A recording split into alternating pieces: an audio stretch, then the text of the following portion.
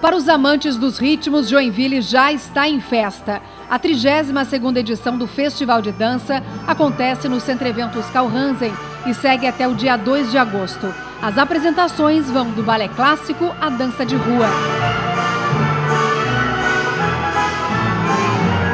Para os fãs do festival Lula Palusa, a capital terá hoje à noite a oportunidade de relembrar as atrações da edição de 2012. A banda paulista Indigo Club traz ao John Bull, na Lagoa da Conceição, os grandes clássicos do rock.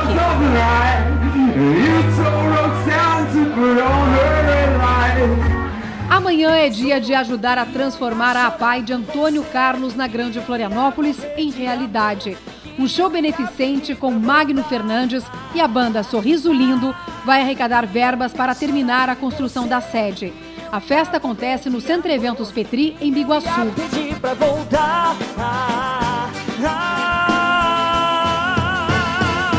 A capital recebe neste sábado o cantor latino. A festa vai ser na Fields.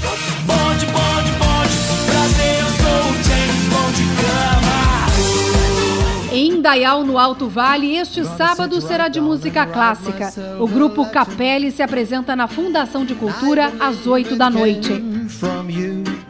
A cantora alemã Maraike Valentim está percorrendo o estado com a rede Sesc de Teatros. Hoje, o show acontece no Teatro do Sesc Prainha, na capital, às 8 da noite.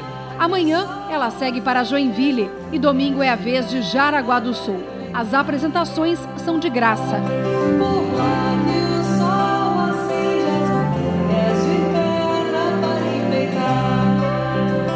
Projeto Em Cena Catarina apresenta hoje o espetáculo infantil Bom Apetite em Canoinhas, no Planalto Norte.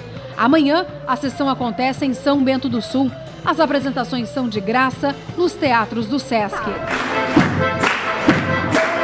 E tem comédia no Teatro Pedro Ivo, na capital, neste final de semana. O ator André Bancoff traz à cidade o espetáculo Não Existe Mulher Difícil. Amanhã a peça acontece às 9 horas da noite e no domingo um pouco mais cedo, às 8 horas. É uma vaca.